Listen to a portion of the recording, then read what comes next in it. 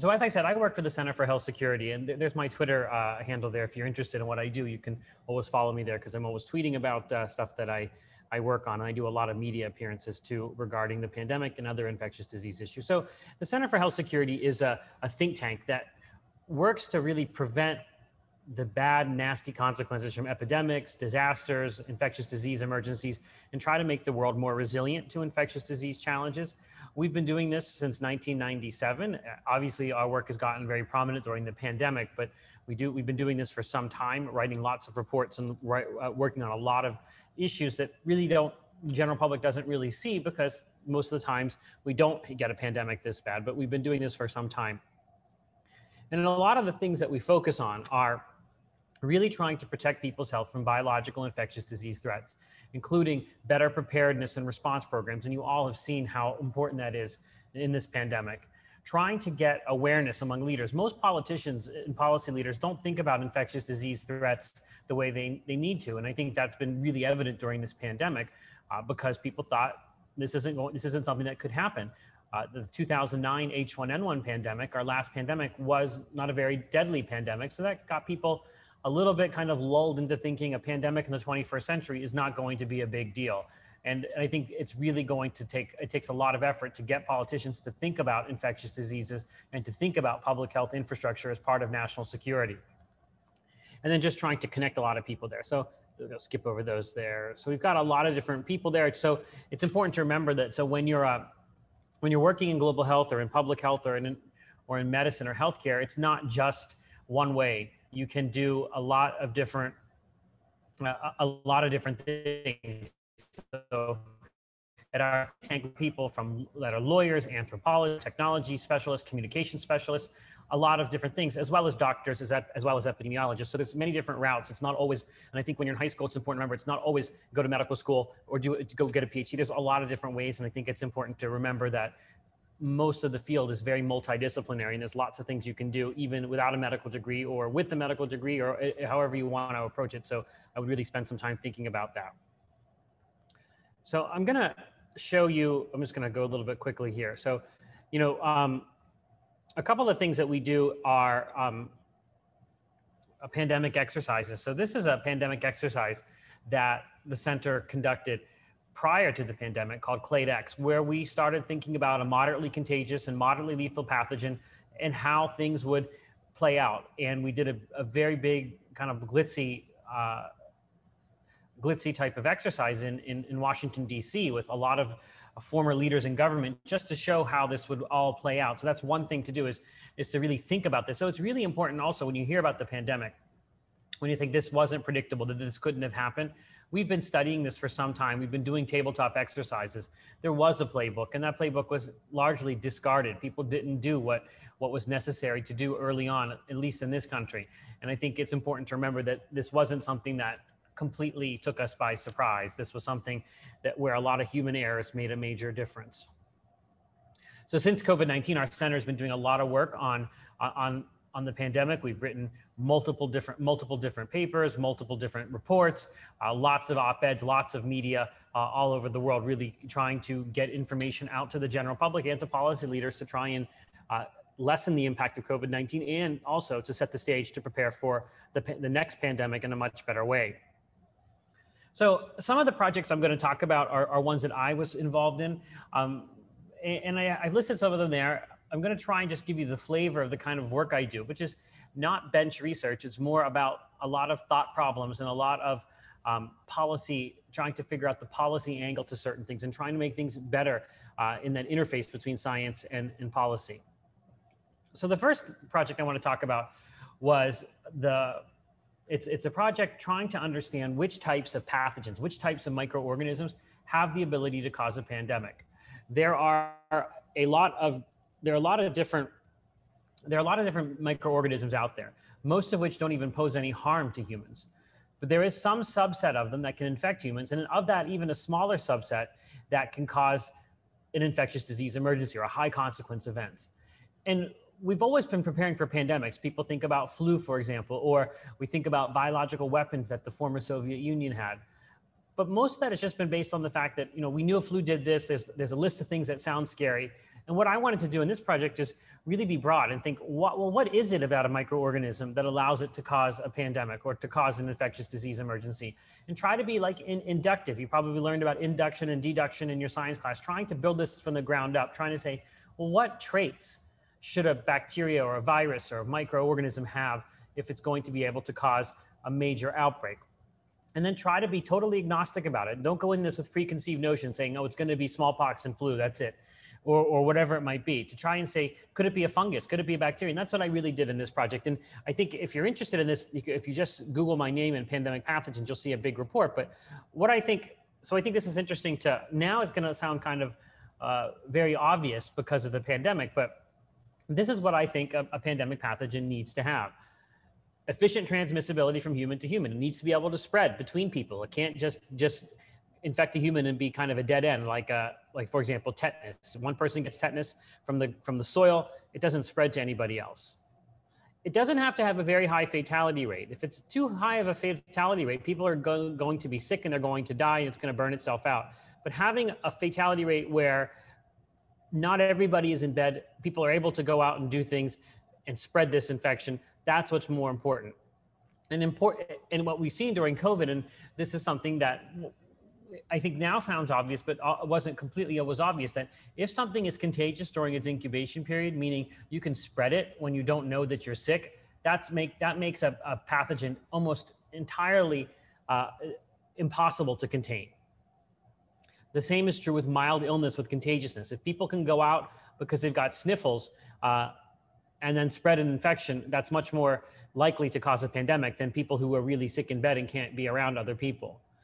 Obviously, um, pathogen, you want it that the they should be what I call immunologically naive, meaning they've not seen it, they don't have any built-up immunity or vaccines or treatments for it, um, and their immune system can't really control it.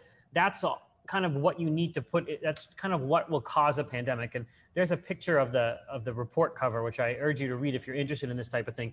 But a lot of this will will sound now like i said something very familiar to everybody because the world really got up to speed during covid-19 but it wasn't something that we thought about in, in that kind of way before that so how would a trans how, how would these things transmit? How would a pathogen transmit if it's going to be able to cause an, an, infectious disease emergency?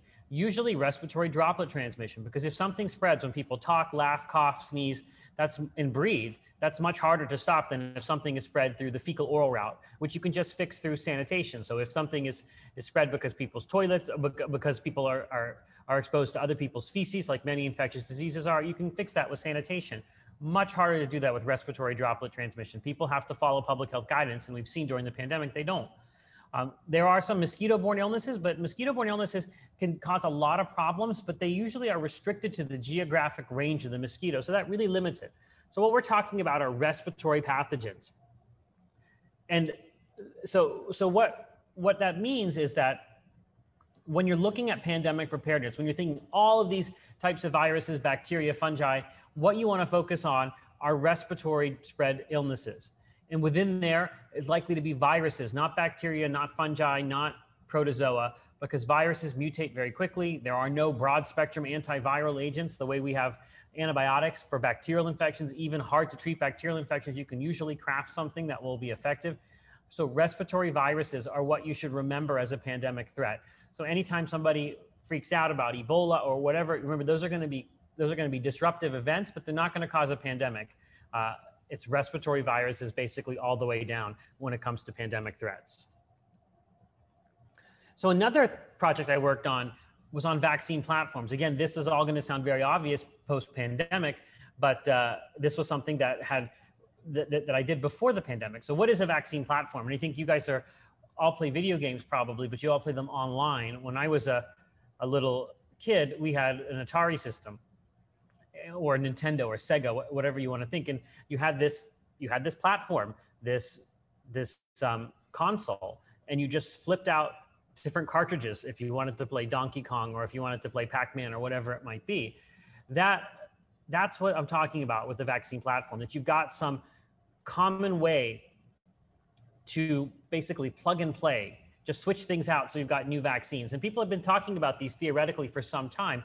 And we knew that when there is an infectious disease emergency, the most important thing to stop it is likely going to be a vaccine. And vaccines in the past have taken years. Four years was the fastest vaccine.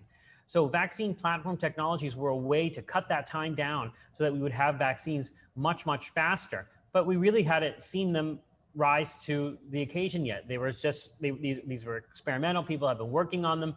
People had made a lot of advances, but they had never had a chance to, to do anything. And what I did in this in this project was I really looked at the technologies that were out there, things like mRNA vaccine technology that you're hearing about with Moderna and, and Pfizer, or the, the adenovirus technology, which is using another virus to deliver the, the spike protein of COVID 19 into a body. Trying to see could that really change the way we thought about infectious disease emergencies and make things much easier, much quicker than in the past. And I did a project looking at all of those. And I, I really came to the conclusion that mRNA vaccines were really going to be uh, instrumental because even though they're not quite like plug and play, they, they basically, you can just print them off from your, from your printer. As long as you know the sequence of the organism or of the part of the organism you need to target with your immune system, you can basically just do this. And I think the, the mRNA and DNA, the, the mRNA vaccine platforms, as well as probably to a lesser extent DNA platforms, they basically are recipes where you can just print them off. And if you look, for example, at the Pfizer BioNTech vaccine, it took them hours to make that vaccine. It took Moderna days to make that vaccine. Obviously, it took much longer to scale up production and to do all the safety testing, but to have the vaccine candidate in just a couple of hours to days, that really cha- changes the way you face an infectious disease emergency. And I think you guys are going to see the dawn of the beginning of a new revolution in vaccinology where we use things like mRNA vaccine technology. So there's a lot of potential there, a lot of interest there. So I worked on that ahead of time um, kind of emphasizing the fact that vaccine platform technologies were going to be uh, a way that infectious disease infectious diseases would really be changed in terms of the treatment. so another cool project I worked on was at-home diagnostics. So you guys all probably know that people can get, get tested at home for basically a few things only. You can check your blood sugar, you can get a pregnancy test, there's an HIV test at home, this wasn't something that people had done that much before because it was something considered kind of difficult to, to find a regulatory pathway to say it's okay for people to test themselves at home. But I recognized and I thought that at home diagnostics would be really important for infectious diseases, not just for pandemic, not just pandemics, but all the time. How many times do you have coughs and colds and you want to know what you have? You end up going to an urgent care center. They might give you antibiotics, which you probably don't need. But if you could know that you had a virus, you would stay home, you wouldn't infect people, and you wouldn't go get unnecessary antibiotics. And we would all know what types of viruses are out there circulating in a, in a much better degree because oftentimes you don't get a specific diagnosis. People are just told they've got some virus. And we've seen the proliferation, for example, of things like smart thermometers, where there's lots of people are taking their temperature in a city. That tells you that maybe something is going on there so I, I, kind of wanted to expand on that with at-home diagnostics and see how feasible it was.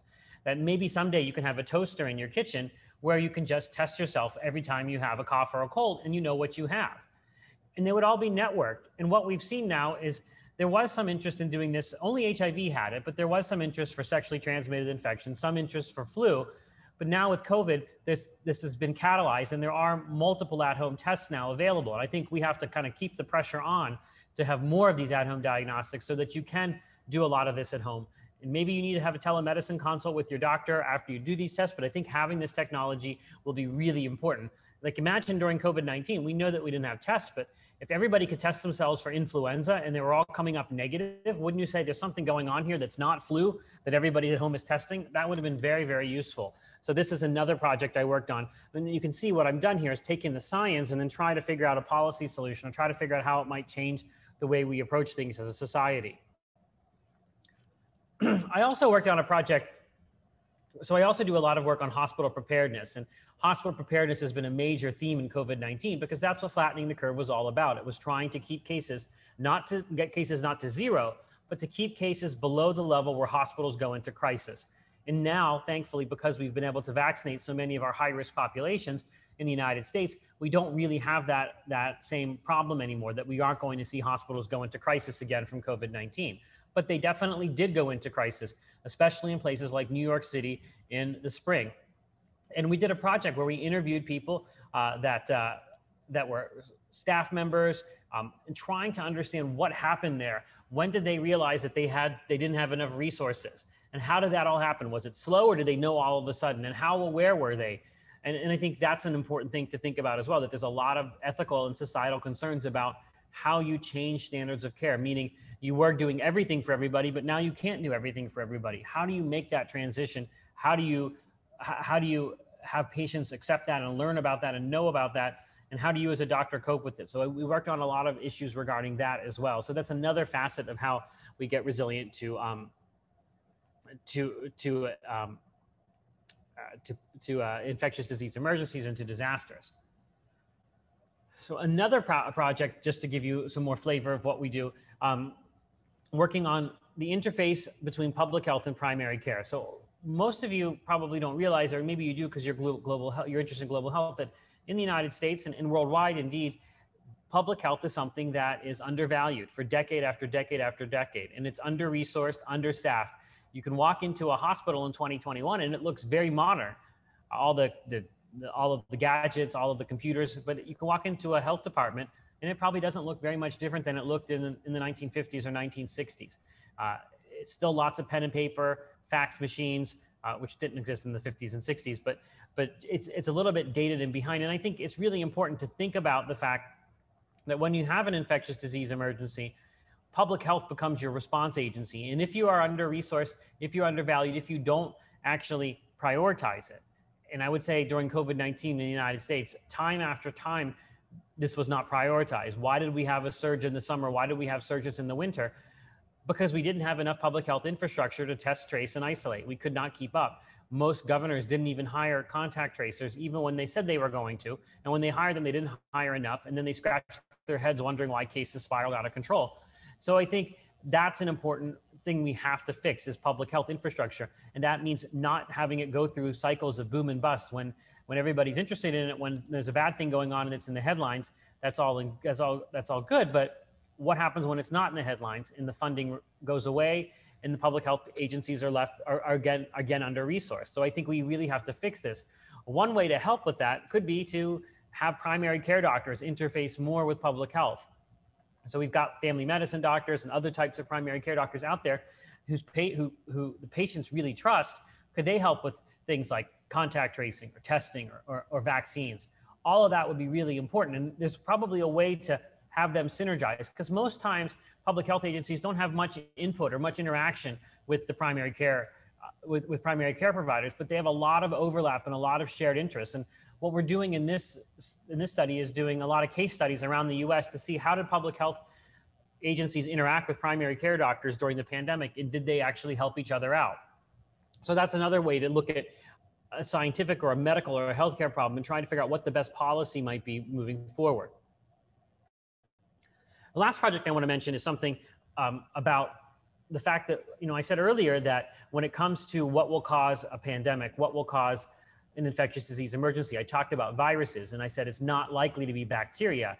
Why is it not likely to be bacteria? Because we've got broad spectrum antibiotics. Since the advent of penicillin in the 1920s and then commercialized in the 1940s, we've had kind of a revolution in antibiotics. And although we have major problems with antibiotic resistance, they're not the same threat because we've got so many antibiotics. But when you think about viruses, we have very few antivirals. We've got a lot of antivirals for HIV or hepatitis C, but outside of that, there's not very many other antivirals. And when we do have them, they're very specific. So a drug like Tamiflu only works on influenza. It doesn't have any other activity. Whereas an antibiotic, like for example, Cipro, it works on multiple different types of bacteria. So we don't have very many antivirals. So I think what, when this project, what I'm trying to do is advocate that we start looking at viral antiviral compounds for families of viruses because we know there's about six viral families that are most likely to be where the next pandemic virus uh, comes from.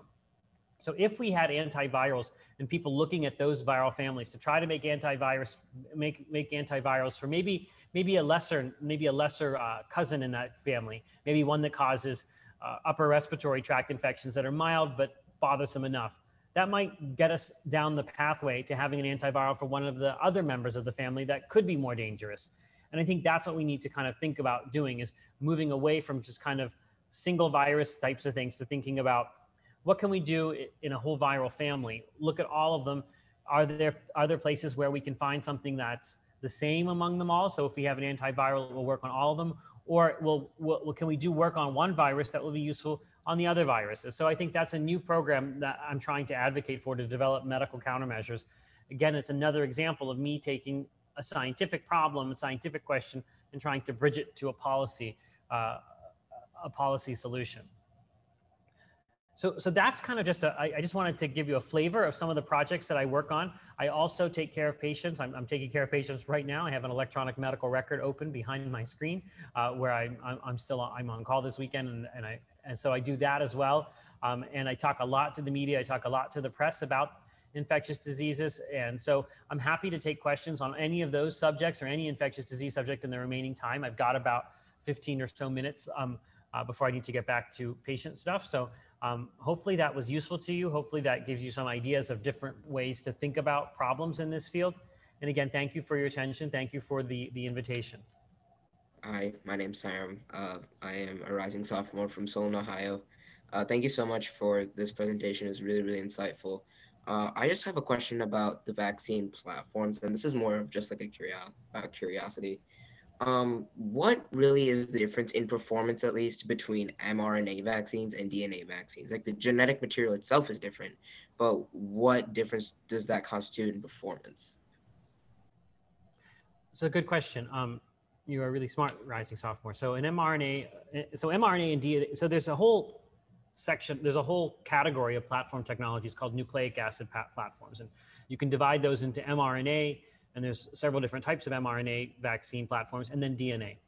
So initially, people looked a lot at DNA platforms, and there were DNA platforms being thought of for Zika virus, if you remember that, and DNA platforms even for COVID-19. But what what happens is, yes, they aren't very different in that sense. But remember, if from your biology class, where in a human cell DNA is, it's inside the nucleus.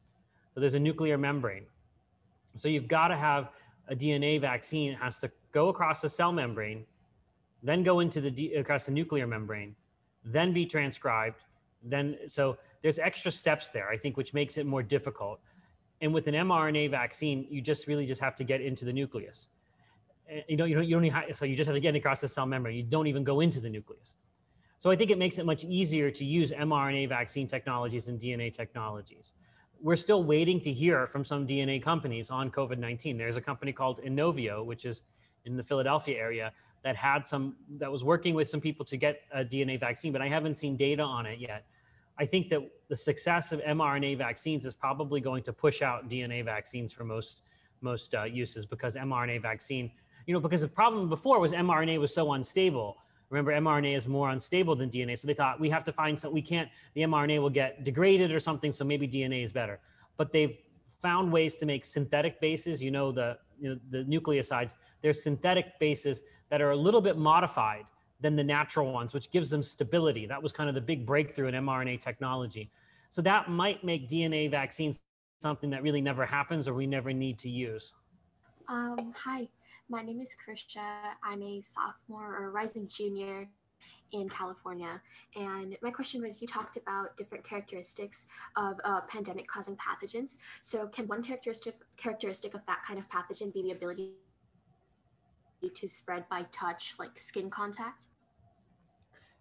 Uh, it, there are some there are some infections that spread through skin contact, many bacterial infections, certain viral infections. But again, that's easy to fix by just telling people to stay. You you can. It's I think yes. There I, I wouldn't think of there would be a pandemic from just only skin to skin contact because you can figure that out. You can tell people to wear gloves. You can tell people to to wash their hands or you, you can tell people to stay stay apart from each other close to each other but not but not touch each other that's a lot easier to tell people than when you talk to them you can there's little air there's little aerosols and little droplets that are going to come out of your mouth that might infect them so yes we can get pathogen transmission skin to skin mrsa is a really good one uh, where you can a good example uh, all of the herpes viruses that cause uh, cold sores that, that's not really skin to skin it's mucous membrane to mucous membrane but that can that can spread that way we we but they don't really cause glo- global calamities because you can intervene with personal protective equipment, meaning just something as simple as as gloves. But there aren't many things that only spread that way. I, I think we haven't seen that type of transmission be be able to really cause a, a fast moving global pandemic that's so disruptive. I think it's it's still going to be respiratory route, although skin transmission can be important for other types of infections. But I think there's too much you can do to stop that or to intervene versus how little you can do to stop people from spreading things when they talk, laugh, yell, scream, all of that, all that that interaction. If that makes sense. Thank you. Hi, Dr. Adalja. Um, thank you so much for your presentation. Um, my name is Yash, and I'm a junior in high school. I just wanted to ask how, um, throughout your career, how did you combine medicine and policy starting in college? So I, I, I, would say that I probably really only started combining it in earnest when I was already an adult, already in training as a when I was in my infectious disease fellowship. So I was already, you know, over 30 years old when I started doing that in a in in a real manner. But what I would say I did is I wanted to have a broad-based knowledge of the world and how things work. So I didn't major in biology. I majored in industrial management at Carnegie Mellon here in Pittsburgh. I'm talking to you from Pittsburgh. Um, and that that's really quantitative business. And I think that just I think if you're going to combine medicine with something else, the more broader base you have, the more understanding of the world and how it works and all the different pieces of it of politics, of geography, of anthropology, of business, of economics. All of that makes it very easy to make that jump because you know how to speak that language. Whereas someone, not that there's anything wrong with it, but there's some people that might want to go directly into something and say, I want to just do biology and then this and this and this. And they may not necessarily have that interest. I was more interested in everything and I still am. I have a problem kind of narrowing my focus. That's why I, I did a double residency and two fellowships after I finished medical school. And I read outside of my field a lot.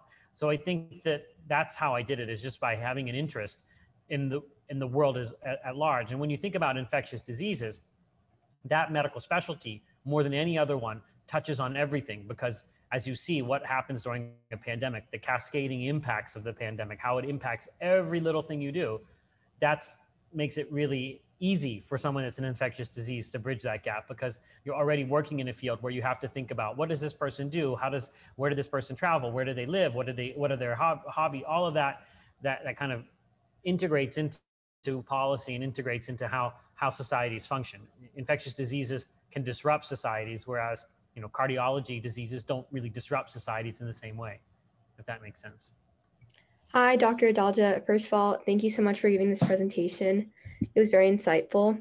And also, I'm Gloria. I'm from Pittsburgh, PA.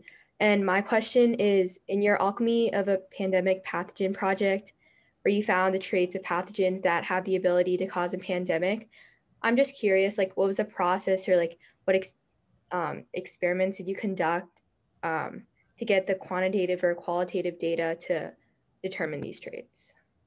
So it's important. So um, it's good that you're in Pittsburgh. I, am curious to know which high school you go to, but you can tell me in a second. Second. Um, so uh, in that project, it was more qualitative research, basically a lot of understanding of what happened in the past for with pandemics and trying to uh, understand what trying to just do a lot of thought experiments just thinking how would this work and then what we did is we interviewed about 150 people from all different fields people that were plant biologists people who were astrobiologists that were working on bacteria like the mars mission people that were um, that, that work on diseases of salamanders and snakes and anybody that i could think of that might have something to say about what could cause a pandemic.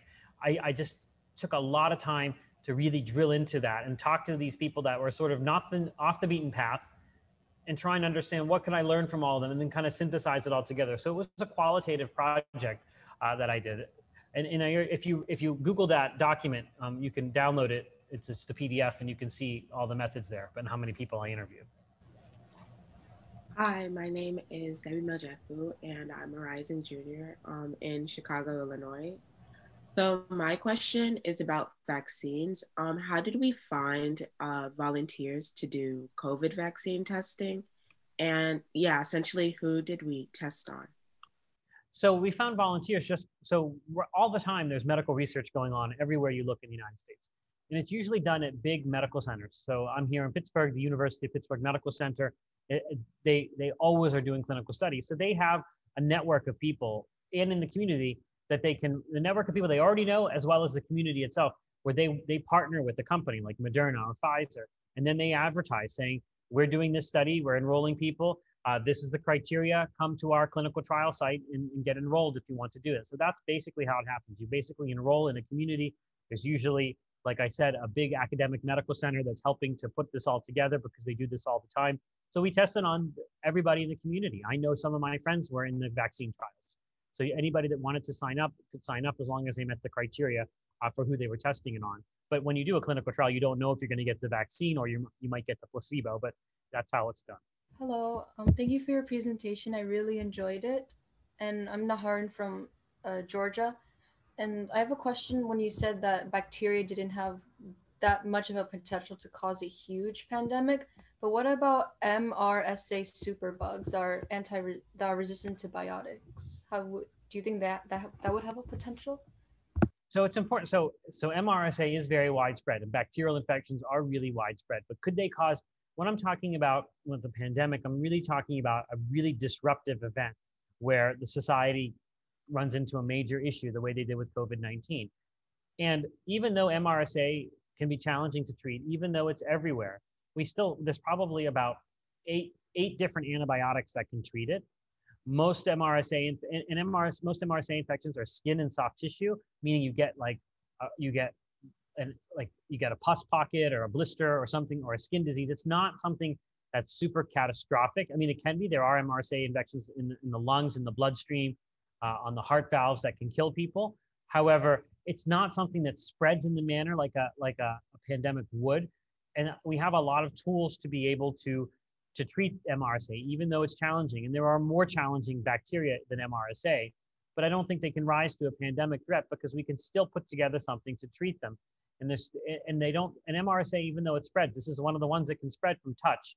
Um, you can you can intervene very early uh, and have not not have bad consequences. So no, I don't think you know MRSA could cause that kind of a pandemic. I think MRSA is a widespread problem all over the world, but it's not at that same level of alarm that you would see with an infectious disease emergency like a like a viral pandemic like bird flu for example Hi, thank you so much for your presentation. Um, I'm a junior and I'm from the UK. And I just have a question. So linking on to the last question about bacteria, I know that since you've mentioned that bacteria don't usually cause like big disruptive events, but with antibiotic resistance being like a very significant problem to public health, how are new antibiotics discovered? And do you think that it could potentially be a really, really big problem for public health? I, I do think thinking long term, antimicrobial resistance is probably one of the biggest public health threats that we face because so much of medicine is necessary. Uh, antibiotics are necessary from organ transplants to putting in hip replacements to, ev- to everything. So, one of the things, though, I think that limits the scope. So, suppose we lost all our antibiotics today. Where would we be? We would be living in like 1942. That wasn't really that bad. I mean, it was bad. I mean, people died and things, and people died from infections, but 1942 wasn't um, you know, it wasn't cataclysmic. It's not, you know, some apocalyptic future that we would think about. So I think even if you do that, because, you know, sanitation, hygiene, s- surgical treatment of infections, all of that are, are important. And, and, even with some of the most resistant antibiotic, but are they infecting? They're not infecting the general population. They're infecting people who live in nursing homes. They're infecting people who have multiple chronic diseases near the end of life. So it's sort of delimited. I, so that's why I think it can't cause an acute problem the way the way a pandemic virus can. How are new antibiotics discovered? So they, they used to be that they, people would just dig up soil. Because what are antibiotics? Antibiotics are usually things that other microorganisms use against each other. You know, penicillin is a penicillin comes from a mold that that that uses that that compound to kill other kill bacteria. So that's how they used to do it, just sifting through dirt. Uh, one one antibiotic used to be called Miss came from the Mississippi mud. It, it, that's basically what they do. Now they continue to still do that, but, in a much more sophisticated manner. They're just screening really fast, almost looking for compounds, uh, you know, at the speed of light, just going really quickly through all of that, and then finding things that hit and then testing them. But a lot of the easy antibiotics to find have, have already been found. So we're still we're in a situation where it's increasingly harder to find new antibiotics. Although most now are kind of versions of older antibiotics that they're tinkering with, modifying, making a little bit more robust. But that's basically how antibiotic discovery occurs. Thank you. So it looks like we are out of time today, but thank you so much for your presentation and excellent responses, Dr. Adalja. Uh, it was wonderful to have you at the conference and we really appreciate you taking the time to speak and for all you do. Sure, thank you. Feel free to, to, to tweet to me or email me or get in touch with me if you have any questions. And uh, thanks again for the opportunity.